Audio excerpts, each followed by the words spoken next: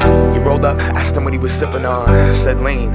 You wanna hit it, dog? That's the same stuff Weezy sipping, huh? And tons of other rappers that be spitting hard. Yep, he had five a bone. Then when I passed him that styrofoam. The Easter pink heard a rhyme before I finally got to see what all the hype was on. And then he took a sip, sitting in the Lincoln, thinking he was pippin' as he listened to the system. Little did he know that it was just as addictive as bass. Not the kind of hit from the kick drum. Hot box, let the bass bump. Take it to the face, go. Months later, the use went up, and every blunt was accompanied by the pink stuff. But goddamn, glove that feeling. Purple rain coated in the throat, just so healing.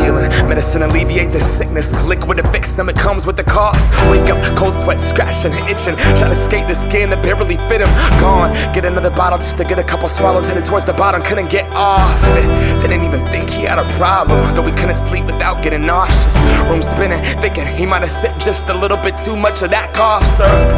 His eyelids closed shut, sat back in the chair clutching that cup. Girlfriend came in a couple hours later, said his name shook him, but he never got up. Never got up. Never got up. We live on the cusp of death, thinking that it won't be us. It won't be us. It won't be us. It won't be us. Nah, it won't be us. Oh girl, this boat is sinking. There's no sea left for me.